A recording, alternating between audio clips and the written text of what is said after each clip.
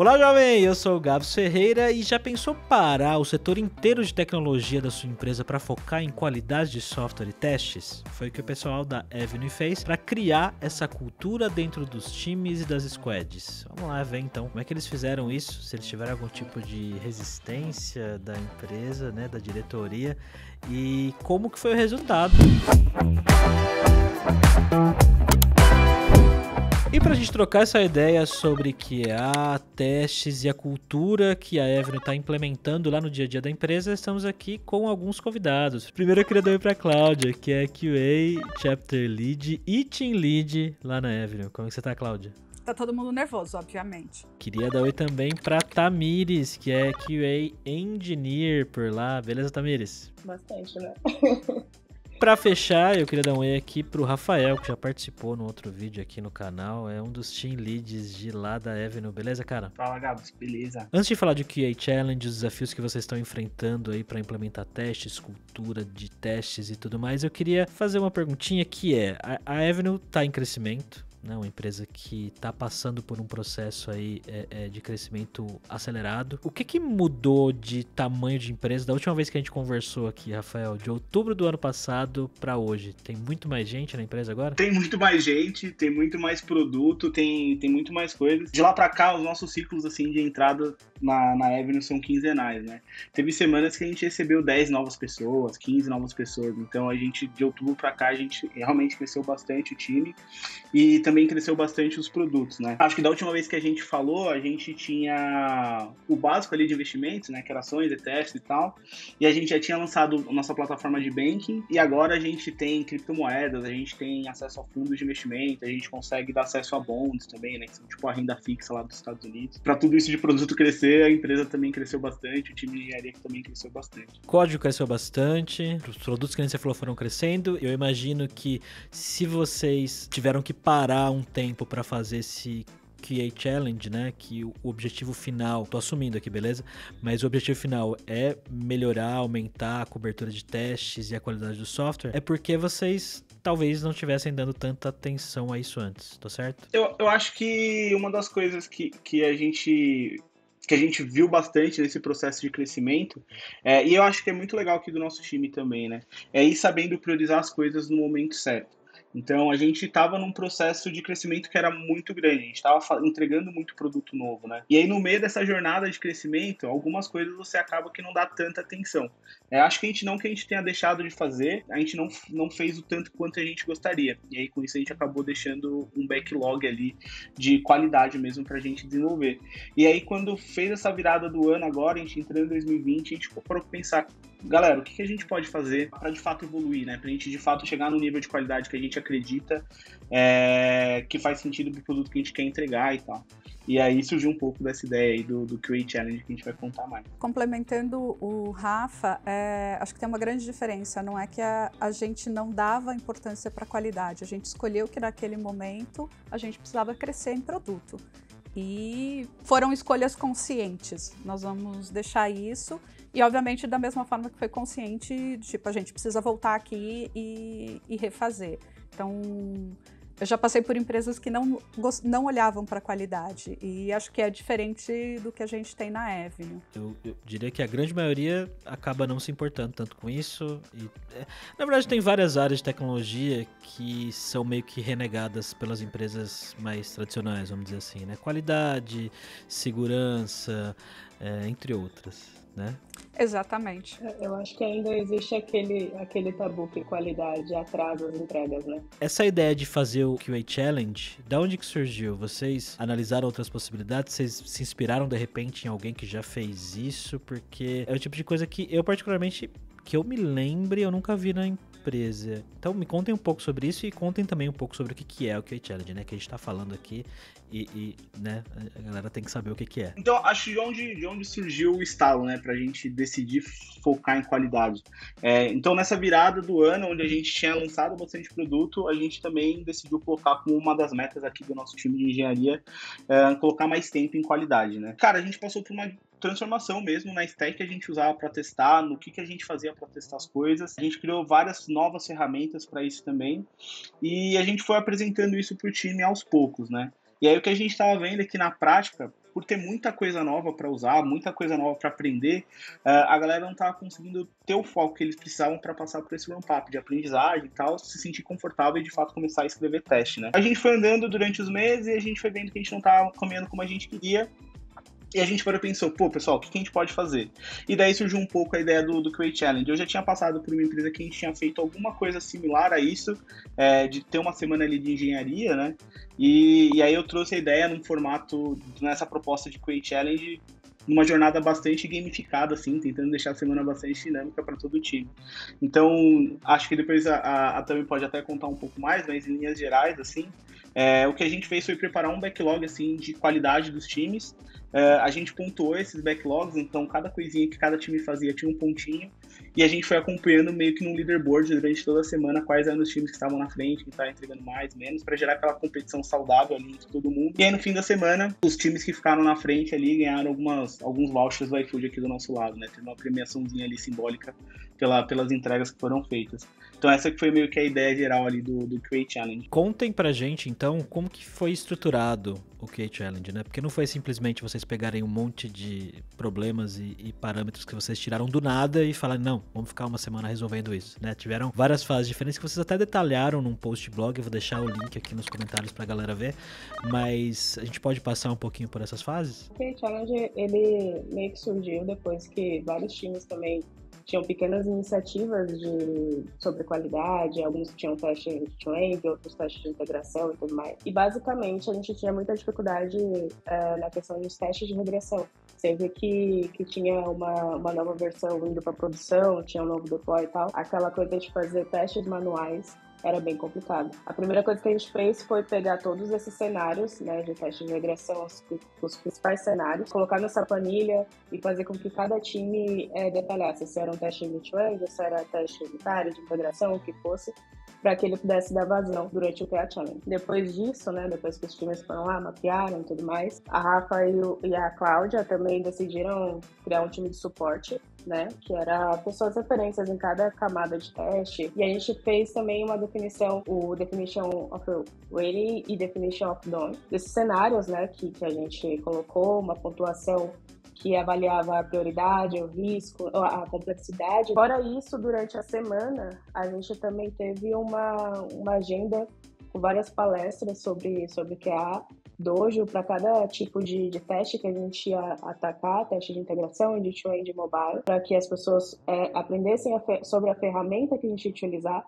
porque antes disso, durante no capítulo de QA, a gente conversou sobre qual ferramenta faria parte da nossa stack. E aí a gente fez um dojo para as pessoas aprenderem mais sobre essa ferramenta. Fora que uh, todos os dias a gente estava ali verificando o ranking, né, para saber quem estava ali os primeiros colocados e tudo mais. Tinha também uma, uma agenda com, com palestra sobre o produto da, da Evelyn, também para a galera se inteirar do que estava acontecendo lá. Antes do Key Challenge, galera, é, como que vocês tratavam testes no dia a dia dentro das equipes? É, acho que, na verdade, vocês têm três squads, se eu não me engano, né? Dez. Não mais? Dez. Dez? Talvez da última vez que a gente tenha falado eram três. é, talvez seja isso. Então vocês têm 10 squads diferentes e como que vocês tratavam testes dentro das squads antes do QA Challenge? Tem mais ou menos um ano que eu vim para a Avenue para tocar o chapter de QA e mudar um pouquinho da estratégia de como é a atuação de, de QA e de teste dentro da Avenue. A metodologia que a gente que eu trouxe para cá é a gente trabalhar com shift left test. Então, o QA hoje aqui ele já não é um tester, ele não atua só em uma fase do desenvolvimento, que é lá no momento em que o desenvolvedor entregou o código, né, terminou o desenvolvimento e entregou para o QA testar e ver se tem bug ou não, encontrar bugs e tentar quebrar né, o software como é o modelo mais tradicional. Usando o Shift Left Test, o que a gente tem trabalhado é a gente tem um especialista em qualidade em cada time e ele é o, o defensor e o, o, a pessoa que leva a cultura de qualidade para o time. E começando a atuar sempre o mais cedo possível no processo. Então, a gente fala do que há olhar para os requisitos e já tentar levantar putz, tem um bug de negócio aqui, tem algo que a gente, já, como a gente tem essa, esse viés muito de tecnologia e de negócio, tem algo aqui que eu sei que não é possível ou que vai gerar um problema no que a gente já tem hoje. Então, o que há é, começa a trabalhar o quanto antes ele puder no sentido de evitar bugs mais do que encontrar bugs, né? Os nossos QAs hoje trabalham muito do lado do desenvolvedor, então seja em pair para fazer é, teste unitário, em estar tá pensando nos cenários ali. Este cenário eu vou cobrir unitariamente, esse outro eu posso cobrir dentro do. faz mais sentido estar dentro do teste de end-to-end -end de UI, esse outro está dentro do teste de integração de back-end. Então, a, o trabalho do QA aqui é um pouco diferenciado é, nesse sentido de estar tá participando de todo o processo. Então, a gente já estava criando, começando a criar essa cultura e esse, esse diferencial né, da atuação do QA dentro dos times e colocando ali a, a bandeirinha de QA dentro do, do time. O que a gente não estava conseguindo dar vazão principalmente, era nos testes automatizados que eram anteriores a gente mudar o processo, aos produtos novos. Então, a gente já tinha um, todo, todo um produto antigo, legado. Como o time cresceu muito, estava chegando muita gente nova, a gente, por exemplo, fez uma escolha de usar o Cypress para o teste end-to-end. -end. Chegava a gente, não conhecia, uh, a gente precisou criar uma estrutura robusta para poder lidar com os testes. Então, não é só usar o Cypress, né? É como a gente coloca isso dentro de uma arquitetura que, que vai ter uma, uma vida útil legal, que, não, que eu não vou estar. Tá, o teste também precisa de, de, de boas práticas, né? automação de teste. Então a gente começou a preparar tudo isso dentro do chapter, tendo discussões, a, a, algumas pessoas que já tinham mais experiência, por exemplo, como a Tami, é, organizando, ajudando na organização, mas a gente precisava que isso fosse mais para todos os times e principalmente cobrir a regressão, tudo que foi construído anteriormente. Então, o Cat Challenge ele serviu, serviu muito para a gente equalizar o conhecimento em todos os times, né? Seja de pessoas antigas, seja de pessoas que, que chegaram agora. É, então a gente conseguiu equalizar ferramentalmente todas as pessoas. Estamos usando isso.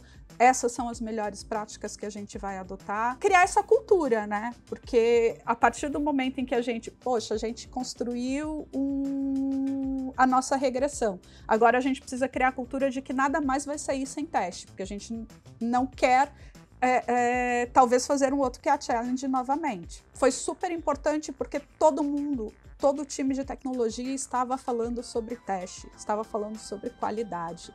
Isso cria um ambiente e a facilidade de que as pessoas adquiram o conhecimento sobre aquilo, de enraizar mesmo né, a cultura de qualidade, muito grande, porque é isso, era uma semana todo o time de tech parado só para olhar para isso, só para falar sobre isso. Né? Não é que a gente não tinha nada de teste, não é que a gente é, é, não fazia teste, tá? Antes do que a challenge. Acho que foi só para a gente consolidar e conseguir dar um start maior no que a gente de regressão não estava conseguindo fazer.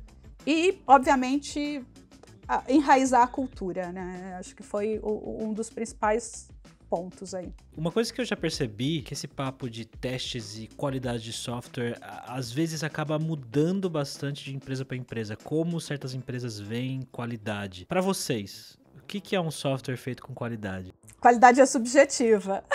Exato, exatamente. Essa é difícil, né? é muito difícil essa definição. Acho que a Tami tem uma definição boa para isso. A, a, qualidade, ela tem vários parâmetros, né, para que você considere qualidade. Então, a gente fez uma dinâmica também lá no Chapter de QA, onde a gente definiu que seria um mínimo de qualidade para a Ebony, né, para a gente fazer um modelo de maturidade em qualidade. Então, quando a gente fala que qualidade, né, ela tem vários, é difícil definir, né, a qualidade de software, apesar dela ser difícil de definir, a ausência dela é facilmente notável, né? A gente fez essa dinâmica onde a gente pegou os parâmetros de qualidade. Para cada parâmetro existe um tipo de teste e a gente definiu, ó, a gente vai andar por esses três pilares aqui, né, de qualidade, para que a gente possa começar a criar o nosso nível de maturidade. A gente tinha, a gente tem um do, dos parâmetros que é a manuten, manutenabilidade. É uma palavra difícil de, de, de falar, mas é basicamente é, é facilitar a manutenção do nosso código, né? É muito de acordo com o que a, sua, que a empresa está tá precisando no momento, sabe?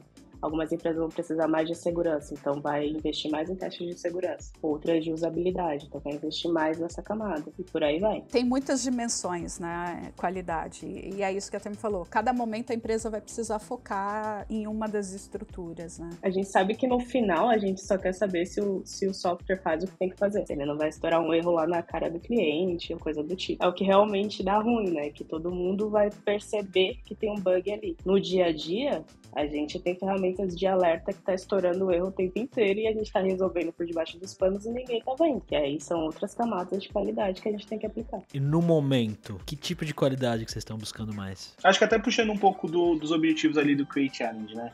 É, uma das coisas que a gente queria trazer muito com, com isso é conseguir dar mais liberdade para o time fazer mais deploys, deploys com mais frequência, porque a gente conseguiria ter cenários mais cobertos ali, né? A Tami falou um pouco sobre antes a gente estar tá precisando fazer alguns testes manuais em alguns pontos específicos da plataforma. Cara, o que a gente queria, não precisava mais fazer isso, ter uma suíte que garantisse que as coisas continuavam funcionando. E aí, consequentemente, com confiança na suíte que você tem, você vai lançar software em produção de forma mais constante e contínua. Uma outra coisa que a gente queria muito é não ter que fazer um outro Create Challenge, né? Igual a Paul falou, a gente não queria ter que parar de novo uma semana quando a Evelyn tivesse outro boom de crescimento. A gente queria construir uma, uma, uma infraestrutura que a gente confiasse para continuar garantindo que a Evelyn estava estável, que os produtos que a gente colocou no ar continuam funcionando da forma que deveria, né? Garantir que as coisas, conseguir criar uma infraestrutura forte para a gente continuar crescendo. Nesse resumo do, do Rafa, a gente consegue é, duas dimensões de qualidade que, que acho que são fundamentais: eficiência e confiança. A gente consegue ter eficiência nos nossos, nas nossas entregas, colocar funcionalidade mais rápido em produção e com confiança com confiança de que a gente está colocando o código e não só a funcionalidade que a gente está colocando no ar, mas que a gente está garantindo que tudo que a gente já tem lá continue funcionando. Acho que para mim são os dois, as duas dimensões principais que a gente tem aí. Durante o Key Challenge, todo mundo de tecnologia parou e participou desse evento, entre aspas? Sim, 10 times parados construindo o teste em várias camadas. Como chapter lead de QA aí, né?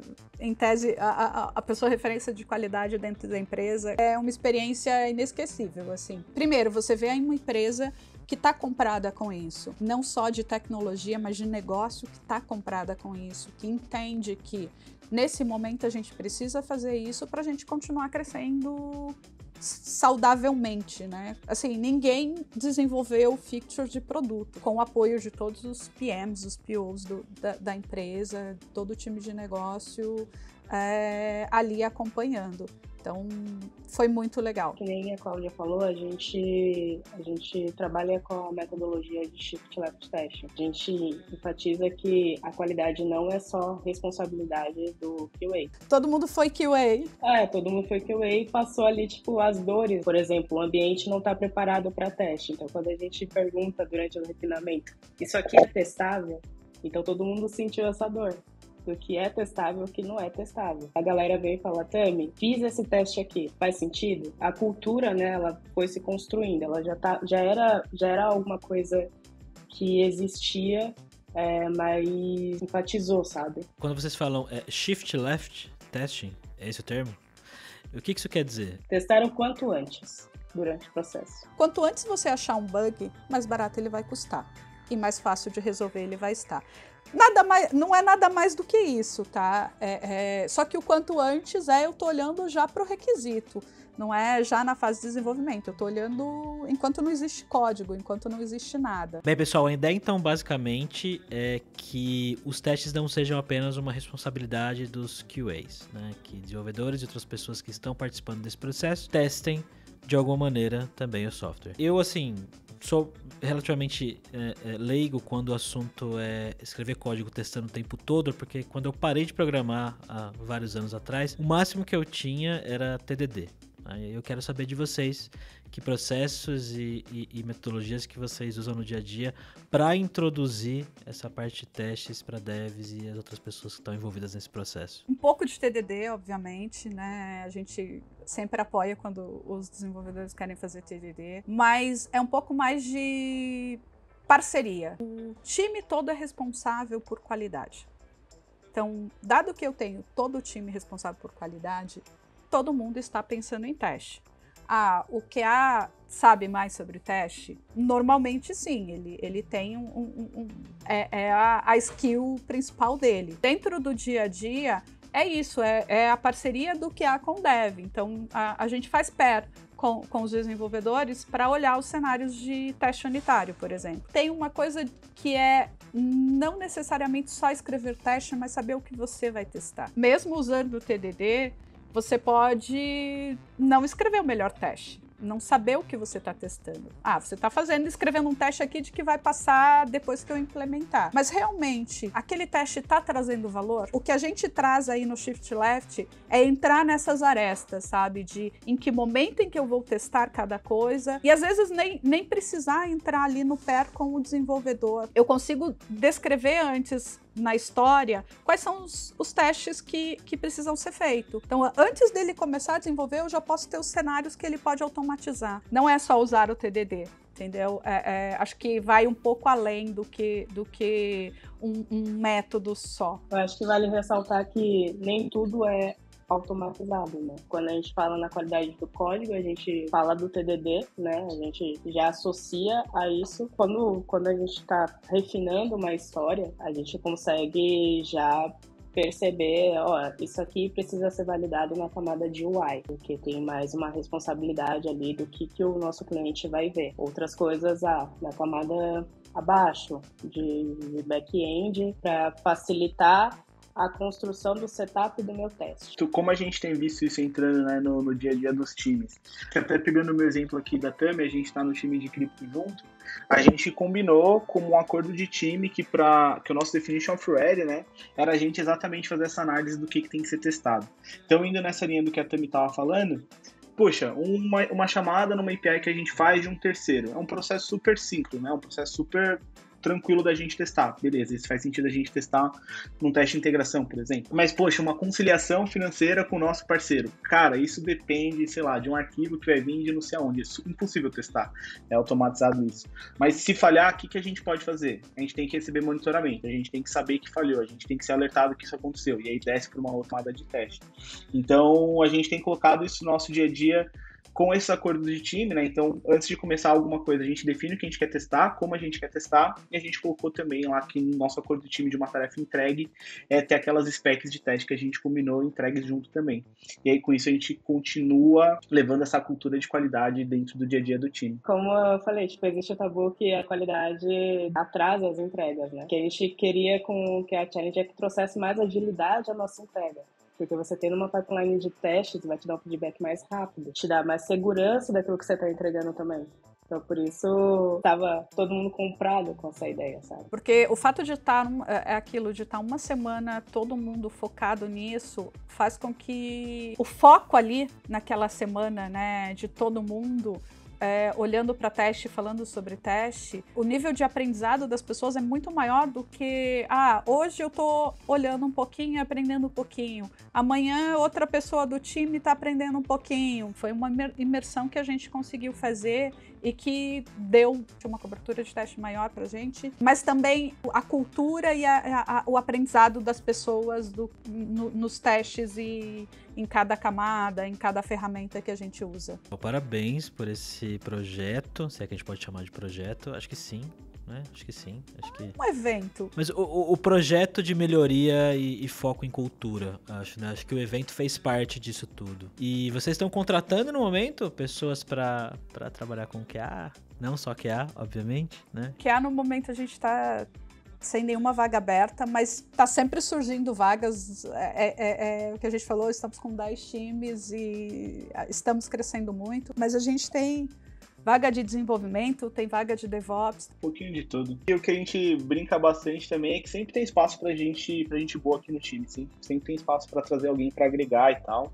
Então, galera, se mais não tem a vaga, procura a gente, chama eu, chama a Cláudia, chama a Tami aí no LinkedIn, vamos conversando. A gente vai se conhecendo, uma hora aparece, a gente dá um jeito de, de fazer acontecer. Pessoal, muito obrigado pelo tempo de vocês, pela disponibilidade aí pra gente bater esse papo e parabéns. Obrigada, Gabs. É um prazer contar um pouquinho da nossa experiência aí com, com esse evento e com, com qualidade. E quem quiser falar com a gente sobre isso, sobre qualidade, só acessar lá no LinkedIn. Estamos adoramos bater papo. É isso. Valeu, Gabs. Valeu, Gabs. Boa, e se você assistiu até aqui, muito provavelmente você está interessado, interessada nesse conteúdo, né? Então eu vou deixar aqui na descrição do vídeo o link para as vagas na Avenue. Assim como eu vou deixar o link também para o primeiro vídeo que eu gravei aqui com o pessoal da Avenue, que foi com o Henry, que é um dos fundadores, e o Rafael, que está aqui comigo agora. Onde a gente falou mais sobre a origem da Avenue, o negócio da Avenue, um pouco mais de stack, tecnologia. Tenho certeza que você vai gostar também.